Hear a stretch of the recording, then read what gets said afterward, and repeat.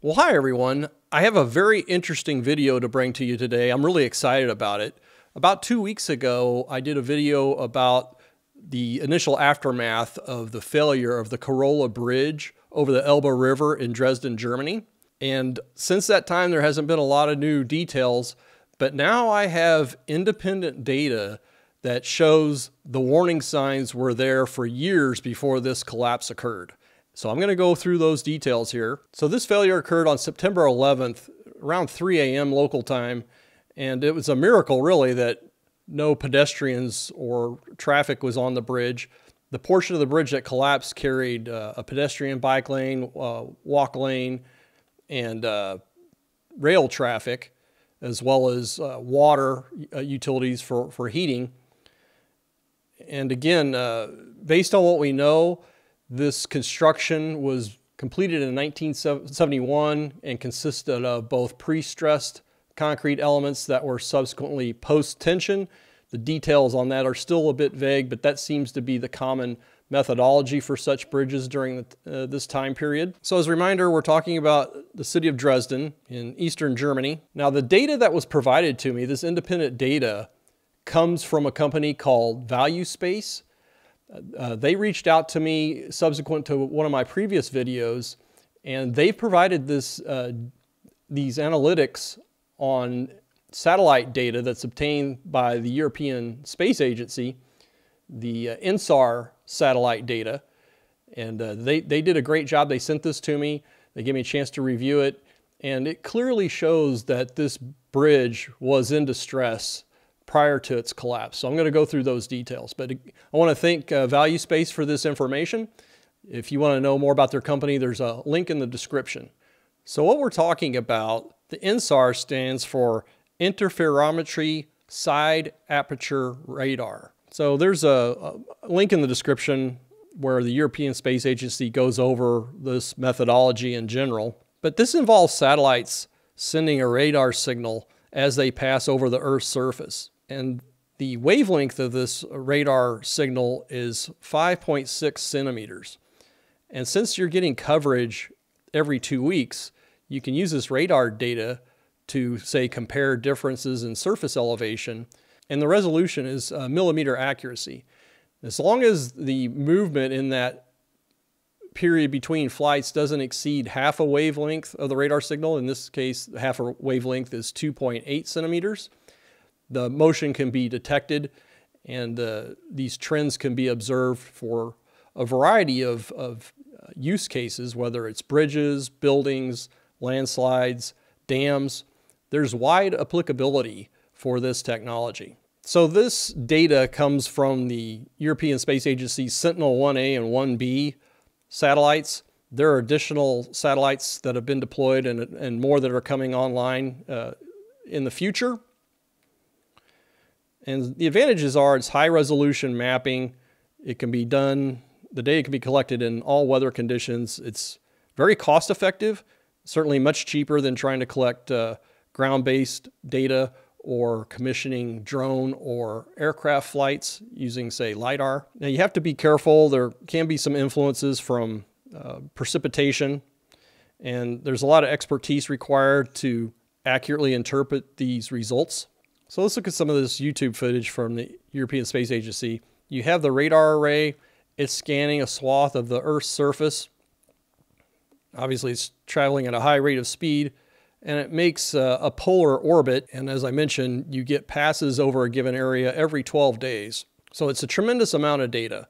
So in this case, ValueSpace selected an area in and around the Carola Bridge in Dresden, and their analysis identified two key findings. We have area one where the collapse occurred and area two. So I'm going to go through this in more detail. So here's area one. This is the segment that was included in the collapse on September 11th. Value Space went back for a three year period. So from September 2021 to September 2024. Uh, I want to point out this, this data resides in servers from the European Space Agency. It's uh, public source data, but it's essentially just ASCII data. So you have to have somebody that's able to pull that information and compile it and analyze it in a meaningful fashion, which is what uh, ValueSpace is doing here. And you can see clear trends in deflection of this section of the bridge deck. So the rate of movement, or what they refer to as velocity, is about an inch a year, so roughly 24 millimeters per year. And that's quite alarming. So this isn't a case where ValueSpace had this in their files and they didn't tell anybody. It's, it's, it's a situation where they retroactively went back and said, hey, this area is now of interest. Let's see uh, what's may have been going on with it. So this is all independent data. And interestingly too, on the north side of the bridge, there's a clear trend for uplift over this same time period.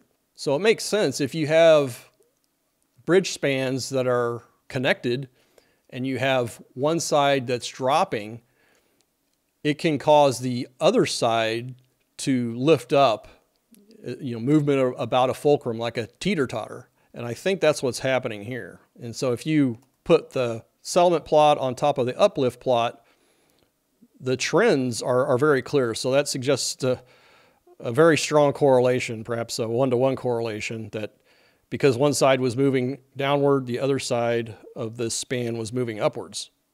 And had city officials been utilizing this data for this specific bridge, I would think they would have gone out there and said, hey, we've got a problem. We may have to close the, the roadway to traffic.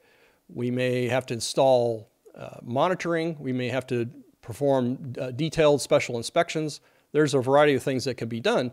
But unless you know what's happening, you are in all likelihood going to miss what's what's rumbling beneath the surface, as it were, or what what may be looming in the not too distant future that could be catastrophic. Let's look at the CCT footage. Unfortunately, these are still images that were recorded every few minutes, so it's not a continuous stream. But if you look in the left of the frame, this is the section that collapsed. So the orientation, the view is to the north. So on the west side, you'll see the lights go out and that section just drop. In a similar fashion, we're looking more or less south. So we're looking from east to west now, and you can see the railroad and pedestrian spans dropped into the river. Now we're looking from west to east, and this area corresponds to the noted deflections in the satellite uh, data obtained from ValueSpace. Just another view looking to the east.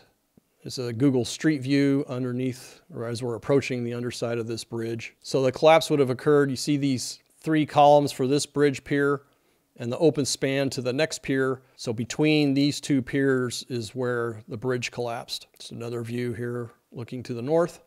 And as I mentioned, there hasn't been a lot of details released about the nature of this construction, but uh, you can look at the reinforcing there and you can make out some ducts, whether those are from uh, pre-stressed elements or post-tension elements, but uh, there's been local reporting that suggests that corrosion may have been a factor.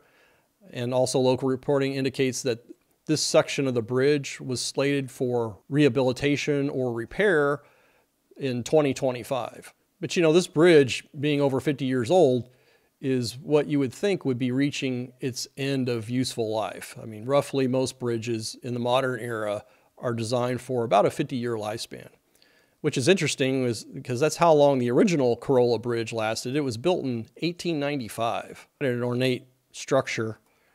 And uh, it apparently survived the massive Allied bombing during World War II. This is a, a bomb damage map. The red areas are the more intensive uh, areas of damage. And uh, here's a Wikipedia entry that said that the uh, the Germans blew up the bridge in May of 1945. It says to prevent the Soviet advance. They weren't going to prevent the Soviet advance. They were going to try and slow them down. So it suggests that the bridge survived up until that time. And then this bridge was completed during the Soviet era in 1971. So it makes you wonder how good the construction was, how good the maintenance was over the years you know, as with most uh, industrialized nations that have had infrastructure for half a century or more, uh, it's in a pretty sad state of repair in most cases. And this needs to be taken seriously by modern economies in the West to sustain future growth. It, it, has to happen with a robust and reliable infrastructure. So now they're rapidly have been demolishing this portion of the bridge that collapsed because there's been flooding throughout Europe and uh, also the channel's been closed to navigation. So some views here of the demolition and uh, they're just trying to get this thing down in a hurry. Under normal circumstances, where you had a surprise collapse, you might do the deconstruction in a more forensic fashion or careful fashion to figure out exactly what failed and and and uh, what the timeline might have been for that failure to have developed. I, I got these images from a viewer, and I didn't they didn't clarify whether I could use their name, so I, I, won't. That's my default position. But you can see some supports here, what they call false work, to support the remaining portions of the bridge. And this is just a view showing the comparison of the plots that I showed earlier, but my point of showing this is that this is pure data analytics, but it helps, well, it's really necessary to have a background in civil engineering to make sense of this data. Now, in my company, we do extensive amount of construction phase testing for bridge foundations testing of drill shaft foundations with cross-hole sonic logging as an example, or driven piles using the pile driving analyzer. And in my practice, we ended up deciding that we needed to compile a database because people were making the same mistakes on job after job, or they weren't taking advantage of institutional knowledge about what piles had been installed in the past, where piles had run long or short, what were the typical size and types of piling that had been used in the area. We just saw a trend with consultants in particular of essentially trying to reinvent the wheel for a new bridge when there may be literally dozens within a few miles of this new project. So I'm, I'm well versed in, in data analytics. So you have three main types. You have uh, descriptive analytics, which basically says, let's just get the results. What are the trends? Essentially just presenting, usually graphically, what the results are for a given situation. And that's what you could have here if you don't take it the next few steps is here's the satellite image and here are the readings for the changes in surface elevation. So if that's as far as it went, that would be merely descriptive analytics. Then you have what's called diagnostic analytics. So for example, with the Carola Bridge, we know there's a failure, so and that failure zone correlates with an area of uh, bridge deck deflection in that same location in a period of at least three years leading up to the failure.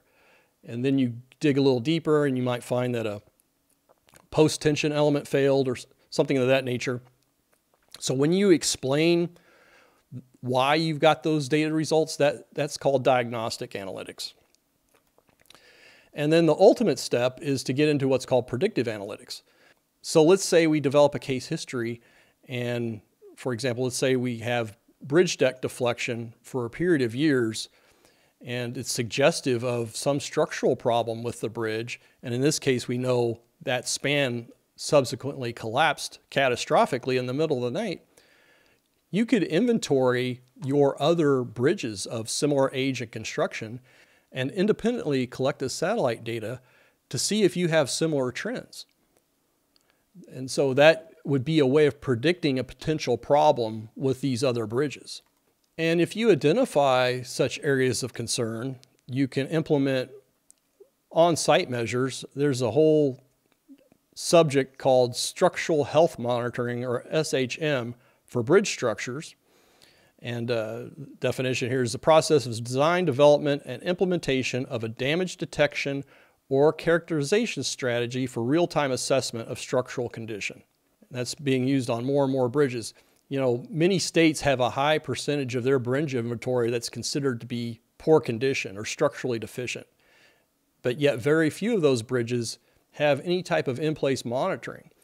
But the bridges that do, you're able to have instrumentation such as uh, accelerometers, tilt meters, vibration monitors, a variety of, of instrumentation that feeds in real time to say a, a, a, dashboard. and somebody could pull up and say, okay, here's our trend lines. Oh, now all of a sudden we've got this big movement. It's, uh, it's very, very uh, useful. So again, this is a, a, good case history using independent data, and it, it's uh, a data-driven process. This goes into an overall concept called infrastructure asset management. So if you're an owner, you have retaining walls, bridges, buildings, it would be very important to correlate raw data readings with other information that you have. So let's say you have a, a, set of retaining walls that have to be maintained. You might have a database that has a description of the wall, its age, its height, how much uh, soil may be underlying the foundation before you get to rock, that sort of thing. And then if you overlay these independent uh, data measurements, such as from satellite uh, imagery, you can get uh, tremendous correlations. You might say, oh, we see this type of movement accelerating typically when a wall is 30 years old or something under these conditions. So again, it's a way of keeping track of infrastructure and trying to be proactive in averting disasters and be allowed to implement monitoring or perhaps even corrective measures before bigger problems occur down the road. So what could be the next steps for Germany here relative to their bridges? I think they should identify other bridges of similar age and construction type. So look at these other bridges that were built in the Soviet era using the same type of methodology, which appears to be both pre-stressed and post-tension concrete elements.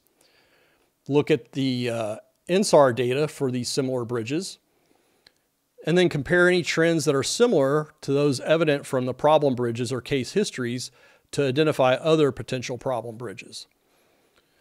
And then you want to review inspection records, conduct new inspections as necessary, and perhaps install instrumentation for monitoring. And then overall to this process, you want to continue to generate information that would be suggestive of a root cause, such as um, is there road salts being applied to the bridge deck? uh, during the winter? Uh, is there been a history of deferred maintenance and repairs? That sort of thing. And once you get these correlations, it gives you a very strong set of uh, information to effectively manage your projects and more importantly, to avoid a loss of life from a catastrophic failure. So I have other case histories that I'm developing into videos that rely on this INSAR data that uh, ValueSpace has provided to me. So I'm stay tuned. I'm really excited about this technology. I think it should be used far more often than, than it has been, but it's something that's going to continue to grow. I think it's a tremendous opportunity to be proactive in avoiding major problems with public infrastructure.